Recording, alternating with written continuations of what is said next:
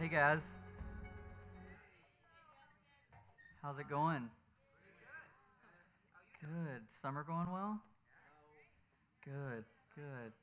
So, we're closing out our series called Wrong Right. We've been talking about how um, God, God's desire is to see injustices in the world made right. Um, that's why he sent Jesus to die on the cross, so that injustices could be made right. And probably throughout this, we've kind of encouraged you guys um, to think about ways that you can be righting injustices yourself. And probably for a lot of you, you're thinking, like, I'm just a, I'm just a kid. I'm just in high school. I'm just in middle school. I can't really do a lot of that. But part of that was why we had you do that survey tonight. Um, really, none of it mattered except for that last question. I don't remember the exact wording, but it was basically how much money do you have to make in order to be considered in the top 50% of the world's wealth. So 30 of you took that survey, but only four of you got that answer right. Because the amount of money that you need to make to be considered in the top 50% of the richest people in the world, in order to be considered half of the richest people in the world, you only have to make $1,500 a year. $1,500 a year puts you in the top 50% of the world's wealth. And probably for a lot of you, you make that an allowance in the year. Maybe you make that for in your birth, like birthdays, Christmas gifts. Like, there's probably, I would say, at least 50% of the people in this room, you get, whether you get actual physical cash in your hands, $1,500 throughout the year, like, you get $1,500 like your parents feed you, your parent you have a house. Like some of us pay fifteen hundred dollars in mortgage every month. So like, just think about that. Like every single person in this room, we are in the top fifty percent of the wealth in the world. And that's because most of the world lives on less than $2 a day most people in the world live on less than $2 a day. And, you know, we, we talk a lot about, or we hear a lot about, um, you know, poverty. We hear a lot about, you know, we have poverty here in America. And even in South Carolina, the average income per person in South Carolina in 2016 per year was $25,521.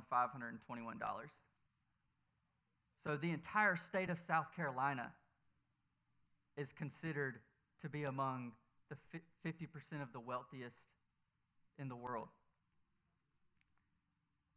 The U.S. poverty line, so for an individual to be considered in poverty, to be living in poverty, to receive benefits and stuff like that, for an individual in 2017, that line in America was $12,060.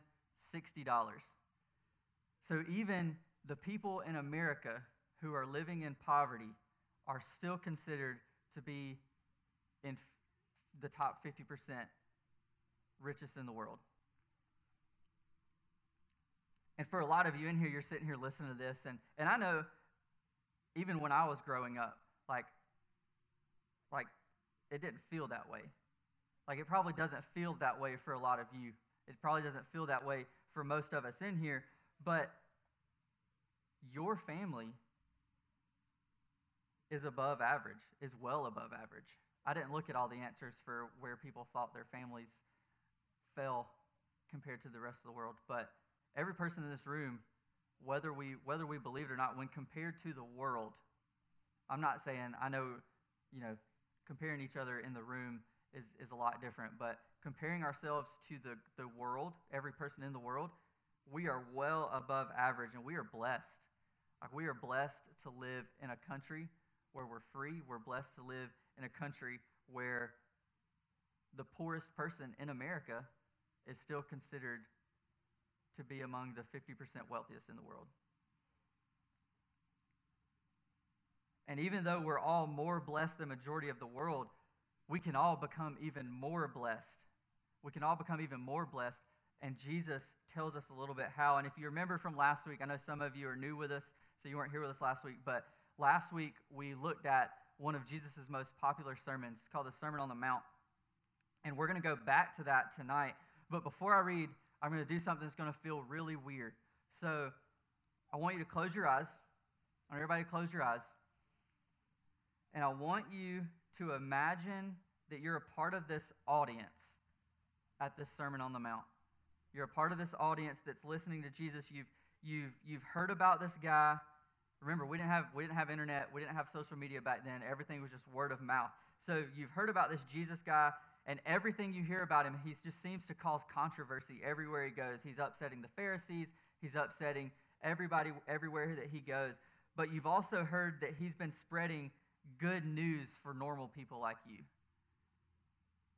He's been, he's been spreading good news for people who, who aren't wealthy, who aren't special, who aren't religious, and even for, for what's people who aren't considered blessed.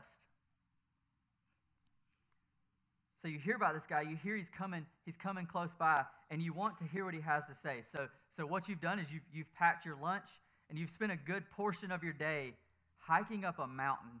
Remember, this is Sermon on the Mount. So you've hiked up this mountain to get a good seat. And then finally, Jesus gets up to teach. And so, as your eyes are closed, thinking about this scene that we just said, I want you to think about like, what are the things that you see? What, what do you hear? What do you feel? And I'm going to continue, I'm going to read through this verse, and you can continue to keep your eyes closed. I guess you don't even have to put it on the screen because everybody's supposed to have their eyes closed. So, eyes closed, I'm going to read this passage to you. This is Jesus speaking to this people, to these people on the mountain. And this is what he says. Blessed are the poor in spirit, for theirs is the kingdom of heaven. Blessed are those who mourn, for they shall be comforted. Blessed are the meek, for they shall inherit the earth. Blessed are those who hunger and thirst for righteousness, for they shall be satisfied. Blessed are the merciful, for they shall receive mercy. Blessed are the pure in heart, for they shall see God. Blessed are the peacekeepers, for they shall be called sons of God. Blessed are those who are persecuted for righteousness' sake, for theirs is the kingdom of heaven. You guys can open your eyes. So, Jesus, with, with these, these few verses that I just read to you, with this, with this passage that he just spoke to these people on this mountain, he has just turned conventional wisdom upside down. He has turned the way that we think about things completely over on its side because it, he's telling them it's, it's not the rich, it's not the happy, it's not the confident, it's not even the popular people who are blessed.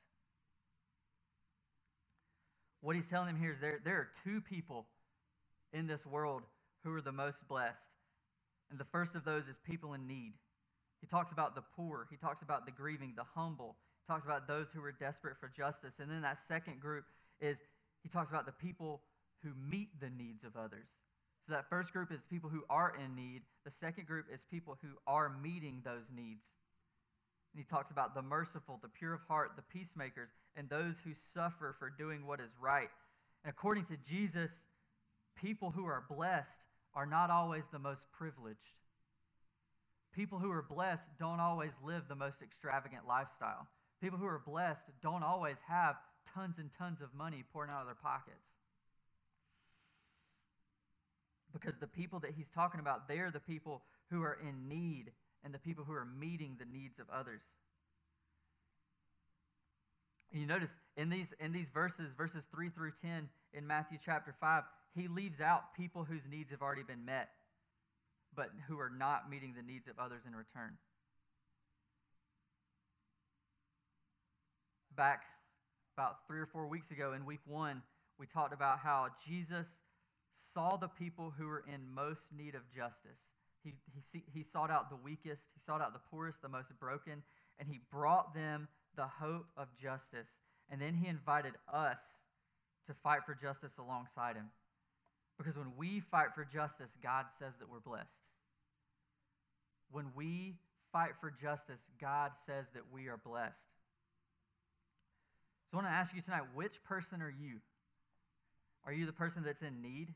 Maybe you're sitting here tonight and you're grieving. Maybe you're lonely. Maybe you're struggling to get by. Well, I want you to know that you are blessed because you are exactly where you need to be in order to receive God's comfort, His generosity, His peace, and His comfort. Maybe some of you in here are, are meeting the needs of others. What, what have you done lately to right someone else's wrongs? Have you shown people mercy? Have you served? Have you helped? Or have you cared for someone with pure motives? Not to get something out of it, but with pure motives simply because they needed your help. If that's you, then I would say that you're blessed because you are exactly where you need to be in order to know God better and receive all that He has for you. And then there are probably some of you in here that you're only concerned with your own needs. You could care less about what's going on with the person next to you. All you care about is yourself and meeting your own needs. It doesn't matter if you're rich, if you're poor, it doesn't matter if you're happy or you're grieving. Doesn't matter if you're taken care of or you're in need. We all have something to give. Because we are all called by Jesus to fight for justice by fighting for each other. You see, too often we're consumed with our own needs that we fail to consider the needs of others. Because, guys, we have been blessed to be a blessing. Jesus fought for justice on your behalf so that you could fight alongside him on behalf of someone else. Jesus didn't die on that cross. I've said this before. Jesus didn't die on that cross so that you could just get saved, live your life, and not do anything. Jesus died on the cross so that your needs could be met. He met the greatest need. None of us in this room have a need greater than salvation. None of us in this room need a relationship with Christ more than anything else. That is our greatest need, and Jesus met that need. And we simply have to go to Him. We simply have to enter into a relationship with Him and we are blessed. So, I say all that. I, I this is something that I have personally been convicted about um, myself. You see, for a long time, even even as a pastor, for a long time, whenever I would I would drive by somebody who was begging, whenever I would drive by somebody who was was homeless, I had a really bad habit of just assuming that they were drunks. I had a bad habit of assuming that they were drug users. And a lot of times I thought to myself that, that they just got themselves in that situation. So I would just drive by and not give it another thought. But then I met Dee, who cares for them, talks with them. She keeps bags of water and crackers and stuff in her car so that she can help people who are in need. And what I've learned through doing that alongside her is that a lot of these people who are homeless, it's just out of unfortunate circumstances. I would confidently say most homeless people are not homeless just because they're alcoholics or drug users something happened. And a lot of times, just what I've learned from Dee is a lot of times they just want somebody to talk to. Like Dee, Dee has had people tell her just how much they appreciate that, that she would just stop and talk to them or even give them a hug. Because that's the biggest thing. It's because, I mean, people, people like don't want to touch them but just to, to sit down with them and have a conversation with them and show them that they matter. A lot of times we'll, we'll try to buy food or we'll, we'll try to give them water whenever they let us. We usually don't just give out money, but like I said, a lot of times they don't even need those things. They just want someone to show that they care. They just want someone to talk to. And I'm not I'm not telling you that's just my personal experience. That was a that was a place where I saw needs and I wasn't meeting them because of selfish thoughts. And I'm not I'm not going to sit here and encourage you guys to I'm pretty sure your parents would kill me, but I'm not going to sit here and encourage you guys to stop and, and talk to every homeless person you see on the side of the road. I would actually discourage that if you're if you're by yourself, um, or even not with an adult. But but guys, there's there are needs all around us. There are people who are in need, and sometimes it's just as simple as a conversation. Sometimes it's as simple as a hug. And I don't want you guys to miss out on God's blessing because you failed to consider somebody else's needs. There are people who are hurting, people who are grieving, people who are lonely all around you. There are people who, are, who need a friend, or people who just need a kind word, people who just need a hug sometimes. Like, it's not, it's not always a money thing when we talk about blessing people. It's not always talking about giving people stuff. Sometimes it's as simple as just having a conversation with someone and showing them that you care. Because you don't need to be rich to meet other people's needs, you just need to be willing. You need to be willing to follow God's example. You need to be willing to follow Jesus' example in doing whatever it takes to meet the needs of others. And that these past four weeks of this series, we've been talking about what it looks like to fight for justice. We've been talking about what it looks like to right the wrongs in this world. And that's how we do it. That's how we fight for justice. Sometimes we do fight by taking a stand. Sometimes we do take we do fight for justice by making a scene, but a lot of times, most of the times it's far less flashy. Sometimes it's quiet, it's gentle. Sometimes you're not going to get recognized for it. But it's always the way of Jesus. Fighting for justice, fighting for the needs of others is always what Jesus asks for of us. And so this week, I want, I want you guys to think about this as you as you as we go into this last song and as you go into your small groups. I want you to think about how will you fight for justice this week? What things will you do to meet the needs of those around you? Because when we fight for justice, God says that we're blessed. Let's pray. God, I thank you for just that. God, for the blessing that we already have. God, the blessing of knowing that, that we live in a country where essentially every person in this country is considered among the 50% wealthiest in the world. God, I thank you for that blessing that, that we're so undeserving of, that we have nothing to do with, God, but you did. And God, I ask that, God, that you would just work in our hearts tonight, God. God, if there are those of us in here who, who are only wrapped up in ourselves, we're only wrapped up with meeting our own needs, God. I pray that you would, you would break our hearts, God. You would break our hearts to see the needs of those around us, to see where we can be a blessing, to see where we can help someone in need, God.